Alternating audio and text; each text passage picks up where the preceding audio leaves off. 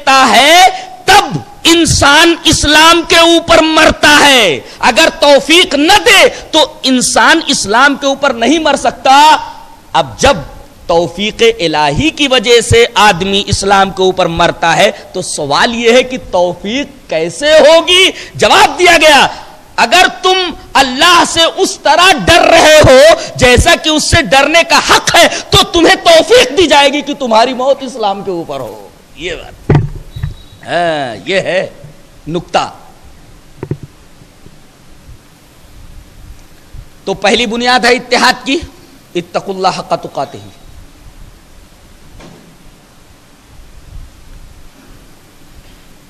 और दूसरी बुनियाद क्या है? इत्तेहाद की एहतसाम बेहबलिल्ला कुरान और हदीस को मजबूती से पकड़ लेना अल्लाह की रस्सी को मजबूती से पकड़ लेना एक है तकुल्लाह का तुकाती एक एहतसाम बेहबलिल्ला और तीसरे अदम तफर्रुख यानी फिरकों में न बटना। इतकुल्लाह का तुकाती फ़र्स्ट बुनियाद, पहली बुनियाद, दूसरे एहतसाम बेहबलिल्ला दूसरी बुनियाद। कुरान हदीस को मजबूती से पकड़ना और तीसरे अदम तफर्रुख फिरका बंदी से अपने आप को महफूज रखना। ये तीन बुनियादें हैं किसकी? इत्तेहाद की। पहली जो बुनियाद बताई गई है, वो अजीब गरीब है। आदमी अगर उस तरह डरे जैसा कि अल्लाह से डरने का हक है,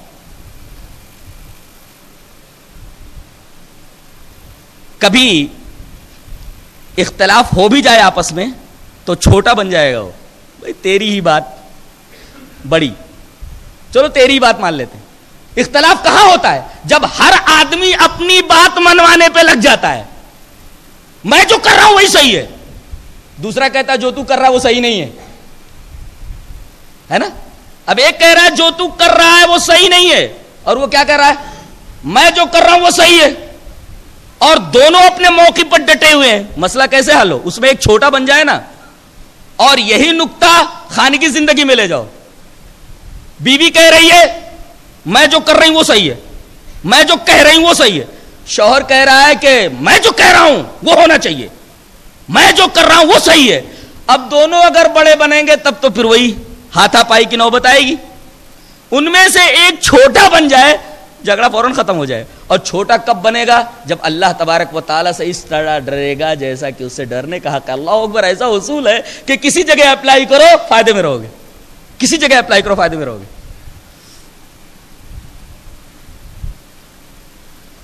इतिहाद की तीन बुनियादें। अल्लाह से उस तरह डरना, जैसा कि उससे डरने का हक है। कुरान सुन्नत को मजबूती से पकड़ना, अदम तफर्रुक। फिर कबंदी से परहेज कर से अच्छा ये बाकी कब रहेंगे? नहीं समझे आप? समझाता हूँ। पेड़ आपने लगा दिया, है? पौधे लगा दिए। अब किस चीज़ की ज़रूरत है? ज़मीन जोत करके, खसो खाशाक से उसको पाक करके आपने पौधा लगा दिया। बस, काफ़ी है। नहीं!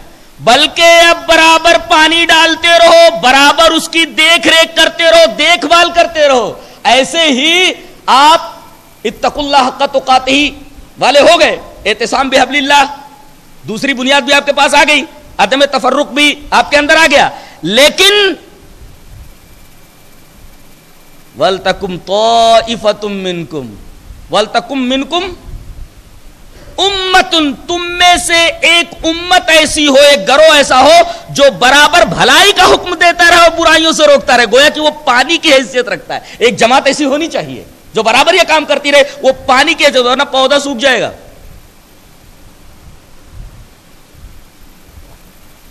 इसी वजह से मान बात, वल तकुमिन को मुम्मत खैर या मरून बिल मारूफ व नहून अनिल मुनकर वो उलाय कहमुल मुफलिहून, वाली आयत लाई गई है। कि इस इत्तेहाद के पौधे को बाकी रखने के लिए ज़रूरी है कि उसमें दावत इल्लाह के लिए एक पूरी टीम हो जो पानी देती रहे, ताकि इत्तेहाद बरकरार रहे। उसके बाद फरमाया गया कि कयामत के दिन कुछ चेहरे काले होंगे और कुछ चेहरे सफ़ेद होंगे। सफ़ेद का लफ्ज इस्तेमाल किया गया। योम तब ईब माने सफ़ेद होना। यौम तब यजूजू हूँ तस्वदूजू कयामत के दिन बात चेहरे काले होंगे, बात चेहरे सफ़ेद होंगे। हकीकत यह है कि बुरे आमाल काले होते हम लोग बोलते हैं ना, खराब काम को, काय को ये काले करतूत कर रहा है? करतूत माने काम उसके साथ हम काला लगाते इसका मतलब है कि बुरे काम जो होते हैं, वो काले होते और एक बात और बताता हूँ, बुरे कामों को काली रातों से, अंधेरों से बड़ी निस्बत होती है। जितनी भी खतरनाक चीज़ें हैं, उन सब का ताल्लुक रात से होता है। शरीर जिन्नात रात में निकलते हैं। इसी वजह से कहा गया कि जैसे ही शाम ढल जाए, सरे शाम ही बच्चों को घरों में रखो, बाहर मत निकालो। जी, रात होते ही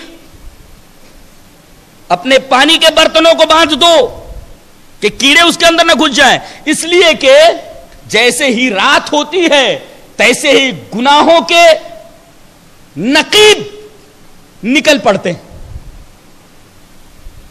बेर बार रात में आबाद होते कि दिन में? आप तो गुनाहों के काम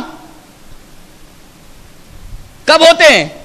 रात में होते हैं। तो तारीकी को गुनाह से बड़ी निस्बत है।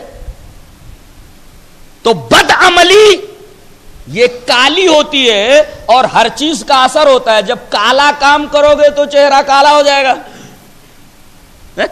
यौम तब हूँ उस दिन कुछ चेहरे सफ़ेद होंगे और कुछ चेहरे काले हो जाएँगे। जब तुमने काले करतूत किए तो चेहरा काला होगा ना? अब तुमने अच्छे काम किए हैं तो अच्छे कामों को रोशन काम कहा जाता है। उसका असर चेहरे के ऊपर होगा कि कयामत के दिन उनके चेहरे रोशन होंगे। अच्छा दुनिया ही में चेहरे काले हो जाते, गोरा आदमी रहे तब भी काला ही रहता है वो। ये और बात है कि वो नज़र होनी चाहिए देखने के लिए, खुदा की कसम। अगर अल्लाह वो नज़र दे दे तो बद अमल चाहे कितना ही गोरा हो, बिल्कुल काला कलूटा नज़र आएगा। और काला आदमी अगर वो नेक अमल करने वाला है, खुदा अगर वो नज़र दे दे इंसान को देखने की तो दर हकीकत वो बहुत ही खूबसूरत दिखाई देगा। कालापन एक तरफ़ हो जाएगा। इबन अब्बास ने रज़ी अल्लाह तुमा उन्होंने इस आयत करीमा की तफसीर करते हुए फरमाया कि तबियजू उजूह अहल सुन्नति वल जमा अहल सुन्नत और जमात के चेहरे सफ़ेद होंगे। वह तस्वदू उजूह अहल बिदा, और अहल बिदात के चेहरे काले पड़ जाएँगे। इसका मतलब है कि सुन्नत रोशन चीज़ है, बिदात काली चीज़ है। सुन्नत और बिदात का तकाबुल कीजिए तो सुन्नत रोशन और बिदात काली।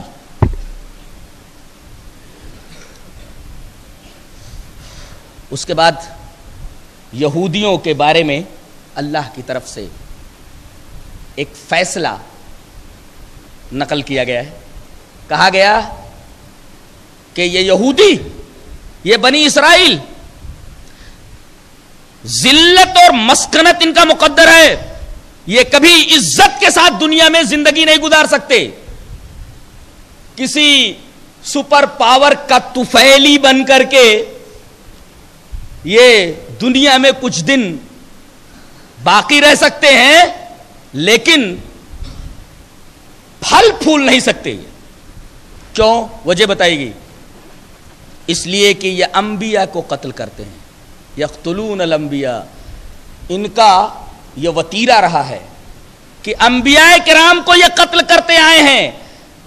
यहाँ तक के इस कौम का हाल यह है यह फैसला ऐसे नहीं सुनाया गया है।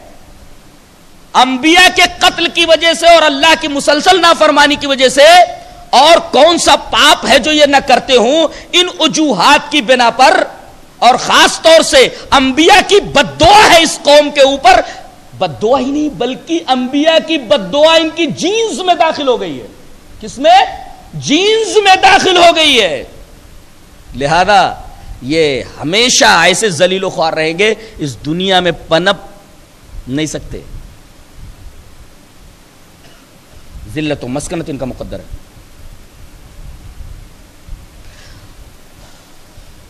उसके बाद फरमाया गया, तुम हक पर हो ना तो हक के मुखालिफिन तो दुनिया में होते रहे हैं। सतीजा कार रहा है, अजल से टाइम रोज, चराग मुस्तफ़ी से शरार बुलहबी, ये तो कायदा है, दुनिया का ये उसूल है कि अच्छे आदमी के मुखालिफिन रहा करते हैं।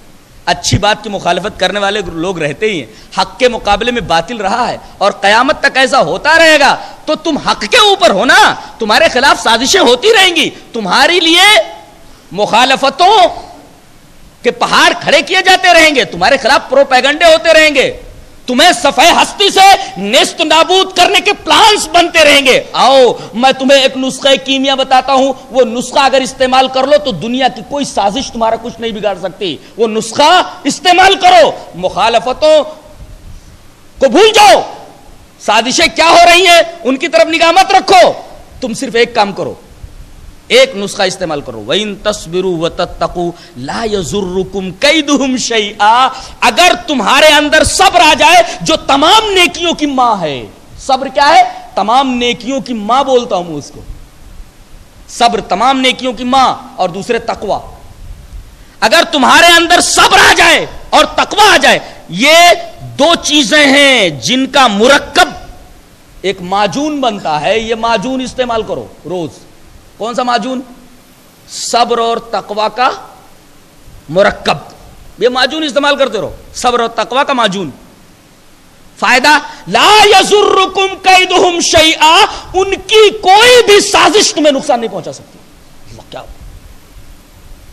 नुस्खा भी बता दिया गया, नुस्खा इस्तेमाल तो करो। परेशान कब होगे? जब यह नुस्खा इस्तेमाल करना छोड़ दोगे। अरे भाई, बीमारी है तुम्हारे अंदर। दवा नहीं इस्तेमाल करोगे तो बीमारी तो पूरे बदन के अंदर फैली जाएगी। एक नुस्खा बता दिया गया। साजिशों से बचना है। आदाय इस्लाम की साजिशों से अपने आप को महफूज रखना है। तो उसके लिए एक नुस्खा है, सब्र और तकवा। लाजुम शैया उनकी साजिशें, उनके मकर फरेब तुम्हारा कुछ नहीं बिगाड़ सकते। उसके बाद जंग बद्र का बयान है कि तुम तो 309 थे 313 थे। कलील तादाद में थे। हमने तुम्हारी मदद की। वाला कद नसरकुमुल्लाह बिबद्री वन तुम अदिल्ला। तुम तो बड़े कमज़ोर थे। अल्लाह तबारक तारा ने मैदान बद्र में तुम्हारी मदद फरमाई। पहले एक हज़ार फरिश्तों के भेजने का वादा फरमाया सूर्य अनफाल में। और फिर उसके बाद यह फरमाया कि तीन हज़ार फरिश्ते भेज रहा हूँ। उसके बाद एक शर्त के साथ पाँच हज़ार फरिश्ते भेजे जाने का वादा हुआ। सवाल यह है, एक मरतबा, एक हज़ार फरिश्ते, दूसरी बार तीन हज़ार फरिश्ते, तीसरी बार पाँच हज़ार फरिश्ते, इसका क्या मतलब है?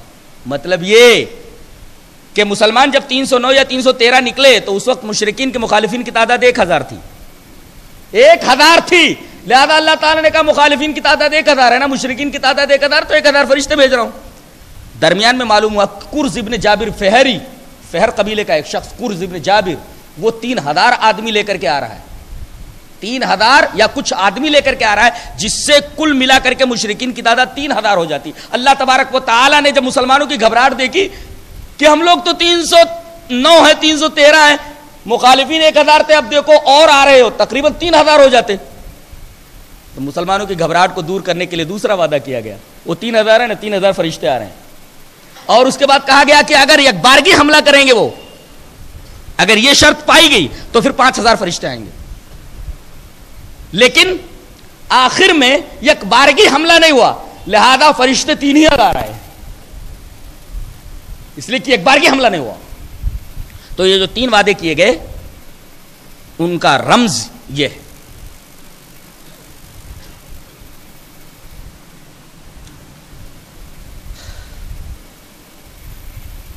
उसके बाद एक बड़ी प्यारी बात कही जा रही है।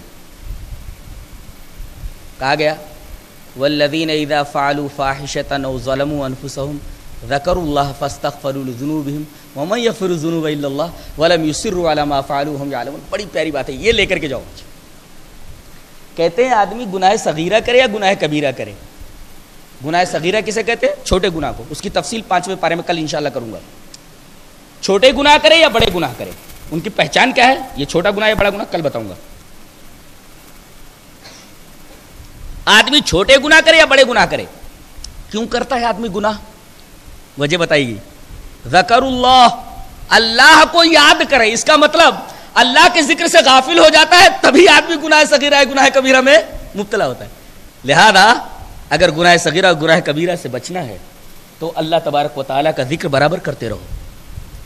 या अब गुनाह हो जाए तो अब क्या करना है? फिर जकरुल्लाह। इसलिए कि गफलत से वो गुनाह हुआ है ना तो अब अल्लाह को याद करो। अब गुना हो गया तो अल्लाह को याद करने के बाद अब अगला मरहला क्या है? फस्तक फरूल जुनू भी अपने गुनाहों की माफ़ी मांग लो। और अल्लाह गुना बख्शता है दो शर्त के साथ, दो शर्तें होना। पहली शर्त क्या है? अब ने जो गुनाह हुए हैं, आपने जो गुनाह किया है, उस पर आप नदामत का इजहार कीजिए। अरे कितना बुरा हो गया। और आगे आप ये अज्म करें कि वो गुना रिपीट नहीं होगा। आरिफ रूमी ने एक बड़ा प्यारा वाक्य बयान किया है कि एक आदमी था नसूह नाम का। औरत जैसी शक्ल थी और औरतों जैसी बातें करता था। तो बादशाह लोग बेगमात की खिदमत के लिए जो खादमाएँ रखते थे, ये भी उसी में शामिल हो गया। अयाश तबीयत का था। अब वो बादशाह की बेगमात के बदन की मालिश, उनको नहलाना ये सब काम जो खादमाएँ करती थी, ये भी जो औरत की शक्ल का था और औरतों जैसी बातें करता था, औरत बनके उनके दरमियान काम करने लगा। और इसको, इस काम से बड़ा मज़ा आता था, नफ्स को तलजुज और हजूज नफ्स इसको मिलता था।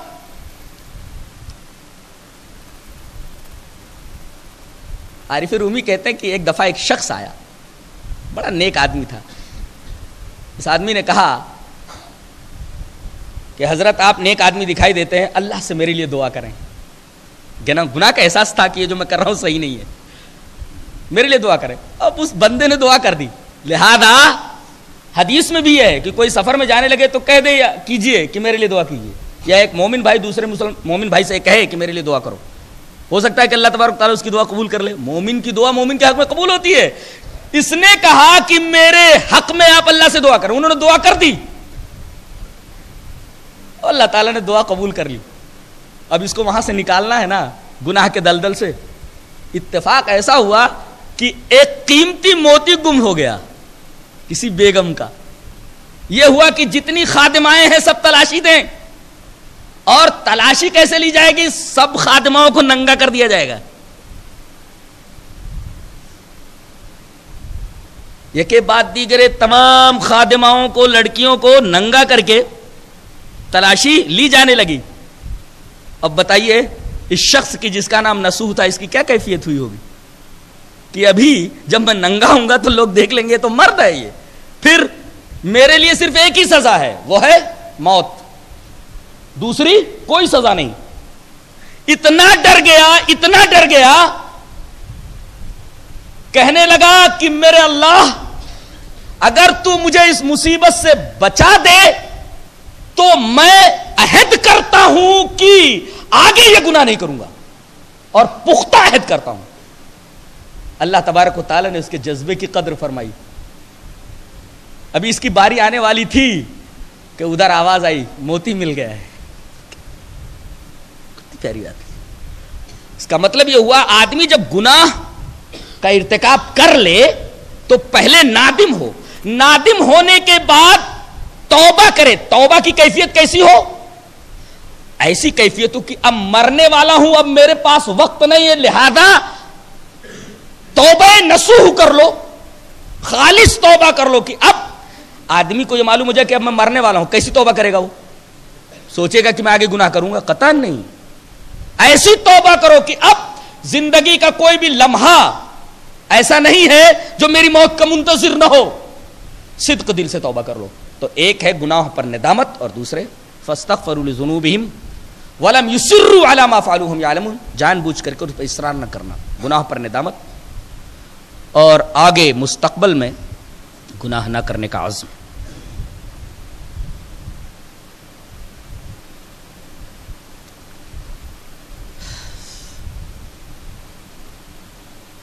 तीसरे पारे के अंदर एक बड़ा प्यारा मसला बयान किया गया है कि आदमी जब दुआ करे ना तो पहले अपने ईमान की तजदीद करे। बहुत अच्छा। फिर अपने किए हुए गुनाहों की माफ़ी मांगे अल्लाह से।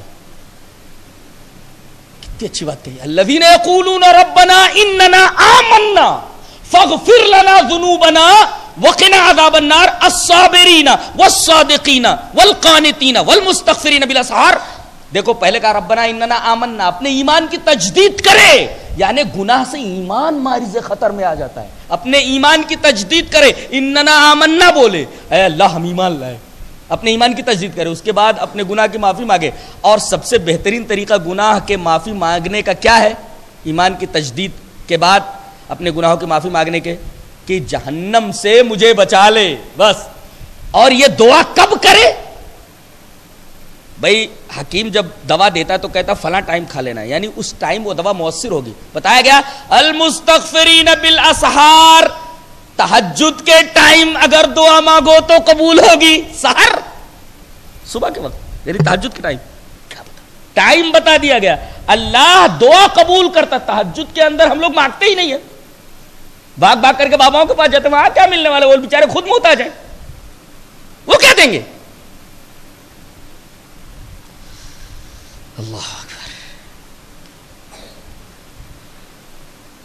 इसके बाद एक बात कही जा रही इनमा युरीदुल्लादिबम अल्लाह के दुश्मनों को देखो, मज़हब बेजार हैं, अल्लाह के नाफरमान हैं, लेकिन बड़े ऐशो इशरत के साथ ज़िंदगी गुजार रहे हैं। अल्लाह फरमा रहा है, मोमिनो, उनको देख करके तुम गमगीन मत हो कि वो मेरे नाफरमान है, लेकिन ऐशो इशरत की ज़िंदगी गुजार रहे हैं। ये जितना ऐश कर रहे हैं ना इतना अदाब पहले से हमने तैयार कर रखा है। उनके गुनाहों के लिए जो अदाब है, वो तो है ही। ये जितनी अयाशियाँ कर रहे हैं ना, इतना अदाब उनके लिए पहले से तैयार किया हुआ है। यानी ये जितना ऐश कर रहे हैं ना, एक्स्ट्रा उतना अदाब में ये मुब्तला किए जाएँगे। इनमा युरीदुल्लाह यानी ये जो अयाशियाँ हैं, उनके अदाब की किस्त है, जो यहाँ ये कर रहे हैं। उसके बाद एक बात कही जा रही है। कुल्लु नफ्सिन जायकातुल मौत, व इन्नमा तुवफ़ौन उजूरकुम यौमल क़ियामा फमन ज़ुहज़िया नारी व उदखिलल जन्नत फ़क़द फ़ाज़, व मल हयातुद दुनिया इल्ला मताउल गुरूर। क्या बोलने का अंदाज है? क्या स्टाइल है? क्या टॉकिंग है बोल क्या के तुम देख रहे हो कि अल्लाह का नाफरमान है एक, और बड़े मज़े में ज़िंदगी गुजार रहा है। तो गम काय को करते हो? अरे, उसे मरना है कि नहीं मरना है? कुल्लो नफ्सिन मौत। हर एक को मौत का मज़ा चकना वो भी मर जाएगा। और तुम्हें भी मरना है। तुम दोनों मर जाओगे।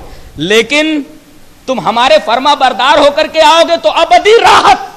और वो मेरा नाफरमान बन करके आया है तो उसके लिए अबदी अजाब। लिहाजा उनको देख करके तुम हसरत ना करो, बल्कि उनको देख करके तुम अफसोस करो। तो एक बात बताएगी कि मौत से किसी को मफर नहीं। कुल्लो नफसिन जायकतुल मौत। प्राइम मिनिस्टर को मरना है, सदर को मरना है सीएम को मरना है, नेता को मरना है, एक मामूली आदमी को मरना है, बड़े आदमी को मिल, मरना है, सबको मरना है। कुल्लो नफसिन जायकतुल मौत!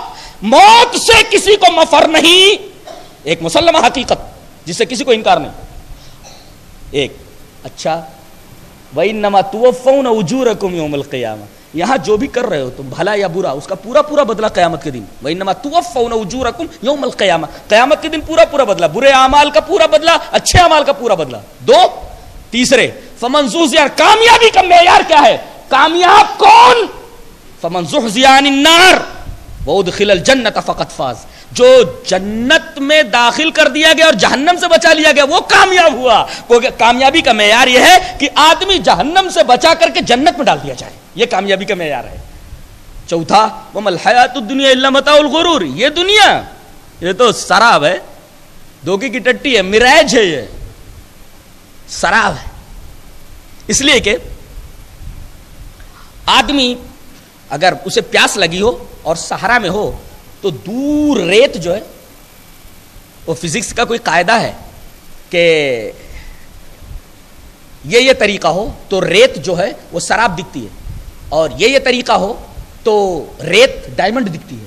फिजिक्स का कुछ उसूल है। और मेरा बच्चा कुछ बयान कर रहा था, मेरी समझ में नहीं आ रहा था क्या है वो। मैंने शराब का तो उसने बताया कि शराब किसे, शराब कैसे बनता है बोल रहा था वो।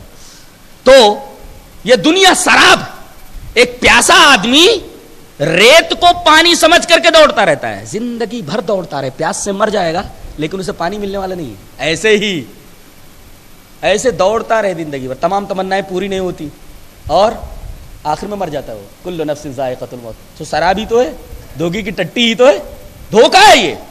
शराब धोखा है। और मता कह करके तो अजीब नुक्ता पैदा कर दिया गया है। मता का मतलब होता है आरजी पूंजी। ये जो कुछ तुम्हें दिया गया, ये आरजी है। हमेशा रहने वाला नहीं है ये। तो एक तो धोखा है, और धोखा भी कैसा? वो भी आरजी है। हमेशा रहने वाला नहीं है। कि हमेशा इस धोखे में मुबतला रहो।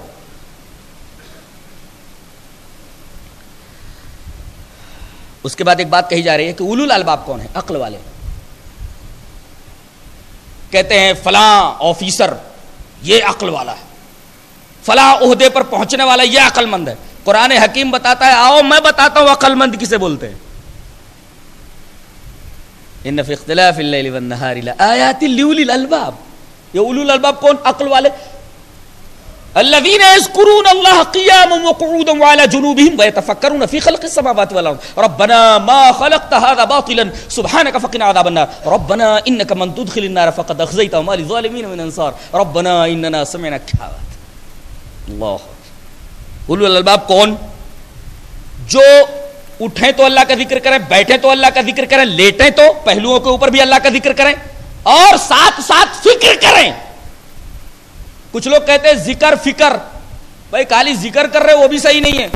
और फिकर तो तुम्हारे यहाँ है नहीं। फिकर का मतलब क्या है? खाने की फ़िक्र क्या? खाना चाहो ना उसकी फ़िक्र? नहीं, फ़िक्र काहे की? वो बताया जा रहा है। ज़िक्र काहे का? अल्लाह तबारक व ताला का ज़िक्र। और फ़िक्र काहे की? खाने की नहीं। वह तफक्करू न फ़ी खल्कि समावाती वाल जमीनों और आसमानों की तखलीक में तुम फ़िक्र करो। कहते साइंसदान भी तो ज़मीन और आसमान की तखलीक में फ़िक्र करते हैं। अल्लाह, यहाँ नुकता ही बता दूँ कि फ़िक्र फ़िक्र में फ़र्क होता है। किसी को खाने की फ़िक्र होती है, साइंसदानों को किस बात की फ़िक्र है, किस बात में गौर करते हैं, वो मालूमात के इजाफे के लिए फ़िक्र करते हैं। जब तुम्हारी तलाश मालूमात के इजाफे के लिए है तो हकीकत तुम्हें कहाँ मिलेगी? तुम्हारी तो तलाश मालूमात है। मालूमात में इजाफा यह तुम्हारी तलाश है तो तुम्हें हकीकत कैसे मिलेगी? तुम्हें हकीकत की तलाश है ही नहीं मालूम में इजाफे की तलाश है। तो तुम्हें हकीकत कहाँ मिलेगी? इसी तरह खला में जाने के बाद भी तुम्हें खुदा नहीं मिलता। कहते नहीं है, ढूँढने वाला सितारों की गुजरगाहों का अपने अफकार की दुनिया में सफ़र कर न सका। ढूँढने वाला सितारों की गुजरगाहों का अपने अफकार की दुनिया में सफ़र कर न सका। खला से आ गए चाँद पर से आगे कहते हैं, हमने खुदा को नहीं पाया। अरे, खुदा को जब पाते, जब तुम्हारे ये सफ़र तलाश हकीकत के लिए होता, तुम्हारा तो ये सफ़र मालूम के इजाफे के लिए है। उन लोगों को हकीकत मिलती है जिनकी तलाश, जिनका सफ़र हकीकत की तलाश के लिए होता है। बताया गया कि कुछ लोग पेट के लिए फ़िक्र करते साइंसदा मालूमात के इजाफे के लिए फ़िक्र करता है, लेकिन मोमिन मोमिन अल्लाह तबारक व ताला की मारिफत में गौर करता है, मारिफत के लिए गौर फ़िक्र करता है कि मैं अल्लाह तबारक व ताला की ज़्यादा से ज़्यादा मारिफत हासिल करूँ। ये फ़र्क हो जाता है एक साइंसदा में और एक मोमिन में। इसका मतलब है कि मोमिन ज़्यादा अकलमंद होता है बिलमुकाबिल साइंसदा के। इसलिए कि साइंसदा का सफ़र तलाश हकीकत के लिए नहीं होता मालूम में इजाफे के लिए। और मोमिन की तलाश का जो सफ़र होता है, वो तलाश हकीकत के लिए होता है। अब बताओ अकलमंद कौन? वो शख्स जिसका सफ़र तलाश हकीकत के लिए हो, या वो शख्स जिसकी तलाश, जिसका सफ़र तलाश मालूम बताओ, अल्लाह तबारक तारा ने फरमाया कि देखो, मोमिन ये अकलमंद है कि इनका सफ़र तलाश हकीकत के लिए होता है। वरना ये ये साइंसदा तो खलाओं में चले जाते, वहाँ से वापस आते, कहते हमको खुदा नहीं मिला। अरे खुदा क्यों मिलेगा? तुम्हारा सफ़र तो तलाश हकीकत के लिए था ही नहीं। खुदा की तलाश के लिए था ही नहीं। तुम्हारा सफ़र तो मालूम में इजाफे के लिए था। खुदा कैसे मिलेगा तुमको? खुदा की तलाश तो करो, उसके लिए सफ़र करो तो खुदा मिलेगा।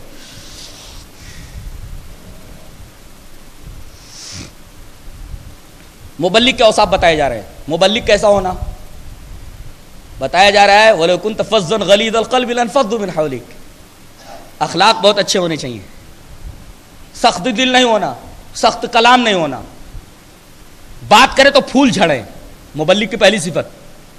दूसरी सिफत, अगर उसके शागिर्दों से कोई गलती हो जाए तो उनको माफ़ कर दे। और गलती होने के बाद उनको छोड़ ना दे, बल्कि बराबर उनकी खैर खाई करता रहे। तीन, चौथे मशवरा करता रहे उनसे शाविर फ़िल्म। ये मुबल्ली की चार खसूसियात, एक आयत करीमा में बयान की गई, जो अभी मैंने पढ़ा। बोले कुंत फजल गलीजल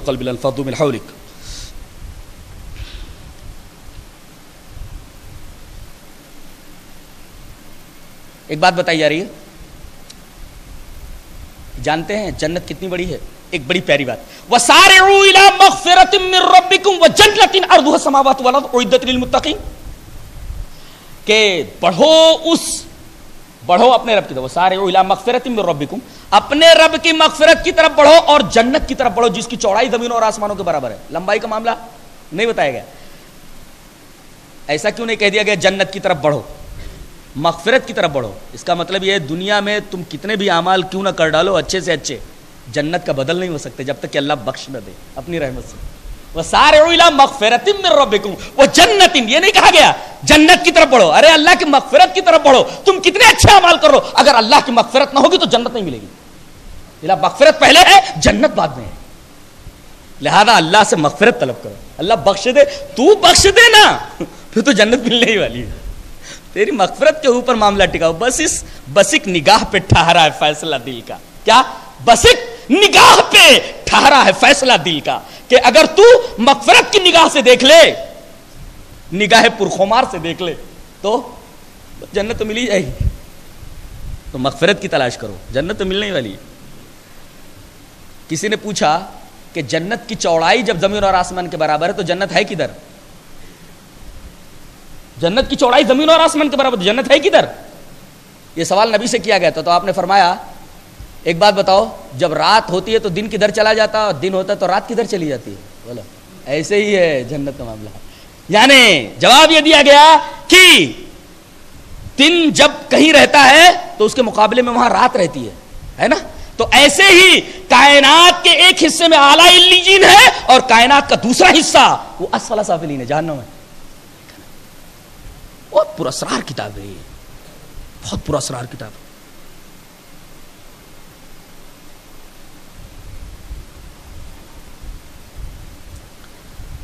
उसके बाद ये कहा गया कि बहुत सारे अल्लाह के नाफरमानों को देखोगे ए, बैग लिए हुए शहरों शहरों घूम रहे हैं। अरे बैग लिए हुए दुनिया भर के चेक भरे हुए हैं होटलों में ठहरता है ये। कितना बड़ा आदमी है, क्या मज़े ले रहा है ज़िंदगी के। अल्लाह फरमा रहा है, ला यगुर्रन का तकल्लुबुल्लदीन कफरु फिल बिलाद। शहरों में ये जो अल्लाह के नाफरमान घूम रहे हैं, बिलाद माने शहरों शहरों। शहरों में जो ये अल्लाह के नाफरमान घूम रहे हैं, ये तुम्हें धोखे में न डाल दें। इनका घूमना फिरना। ला यगुर्रन का तकल्लुबुल्लदीन तकल्लुब माने कभी यहाँ आना, कभी उधर चले जाना। करनूल से हैदराबाद हैदराबाद से विशाखापट्टनम विशाखापट्टनम तो फला जगह। यह तकल्लुब। ला यगुर्रन का तकल्लुबुल्लदीन कफरु। अल्लाह के नाफरमानों का इधर उधर जाना। बैग लिए हुए, लाखों के चेक लिए हुए। ऐशो आराम के लिए फाइव स्टार होटलों में ठहरना, कहीं तुम्हें धोखे में न डाल ले मताउन कलील! थोड़े दिनों का मामला है ये। ओमा वाहम जहन्नम। तो बीसल मिहार इनके ऊपर अफसोस करो। इनको देख करके हसरत मत खाओ। उसके बाद एक बड़ी प्यारी बात कही जा रही है कि तमाम के तमाम इंसान एक मर्द और एक औरत की औलाद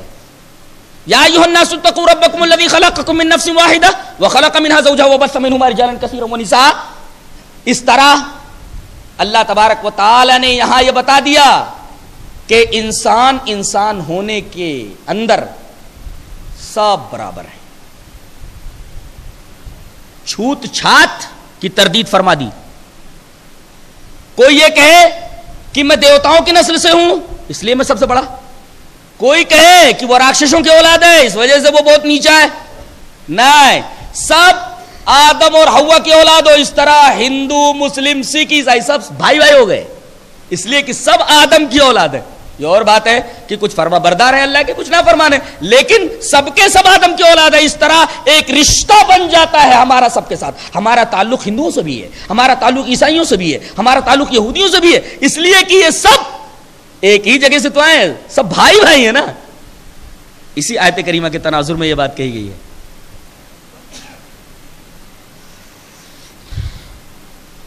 उसके बाद कहा गया कि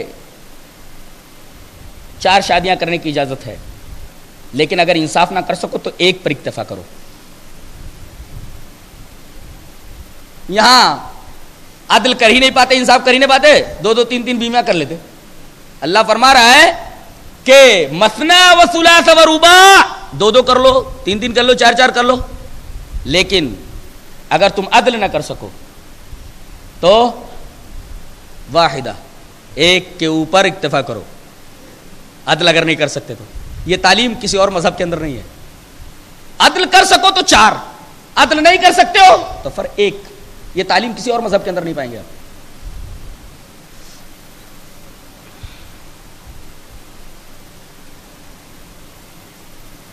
उसके बाद बताया गया कि तौबा कब करना? ये बहुत अहम बात है देखो। इसलिए कि हर इंसान गुनहगार है। कौन सा पेड़ है जिसको हवा ना लगी हो? ये बात आज यहाँ से ले जाओ। बड़ी प्यारी बात कहने जा रहा हूँ।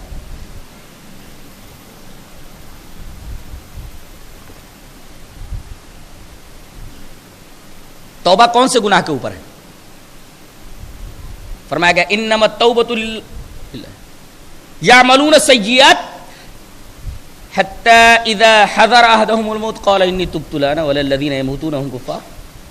बताया जा रहा है इन आयात में कि तौबा को इतना मौखर ना करो कि मौत आ जाए और मौत जब आ जाए तो तौबा का दरवाज़ा बंद हो जाता है तब उस वक्त बोलो इन्नी तुबतुलान अब मैंने तौबा किया तो तौबा कबूल नहीं होगी यानी मौत आने से पहले आलम आखिर का मंजर सामने आने से पहले तौबा कर लो। और हदीस पाक अब सुने।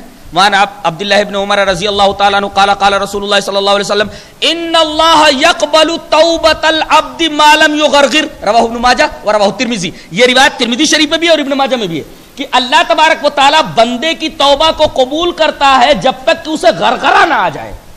ये गरगरा क्या है? ये गरगरा क्या है? गरगरा ना आ जाए, गरगरा से पहले तक कबूल करता है। तौबा कर ले तो अल्लाह माफ़ कर देता है। यह गरगरा क्या है? गरगरा का मतलब यह है कि कोई पतली चीज़ माए, कोई पतली चीज़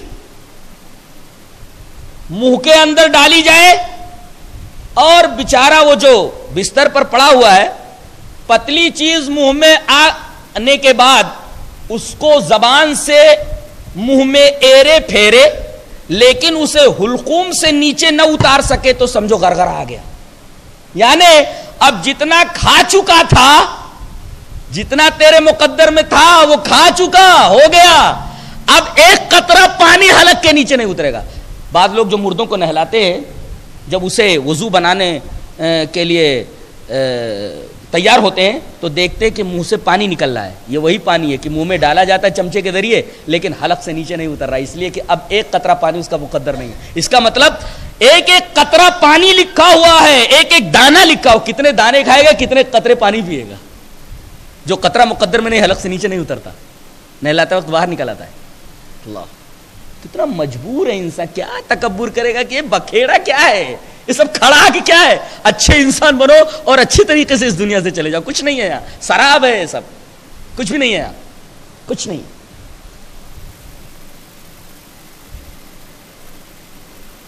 तो गरगरा किसे बोलते हैं?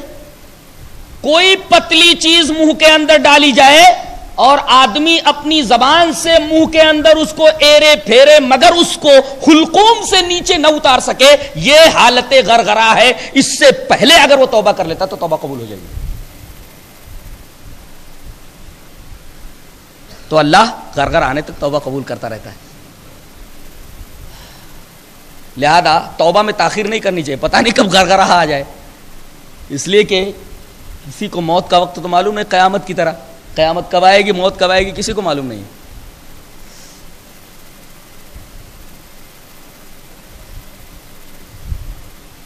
उसके बाद मुहर्रमात बताए जा रहे कि कौन कौन सी औरतें तुम्हारे ऊपर हराम है। तो सात, ये नसबी रिश्ते से वो हराम है, औरतें, और सात रज़ाई रिश्ते से। सात रज़ाई, यानी दूध पिलाने की तरफ़ से। सात रज़ाई रिश्ते से, सात नसबी रिश्ते से और चार ससुराली रिश्ते से।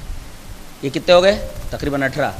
सात सात चौदह और चार अठारह।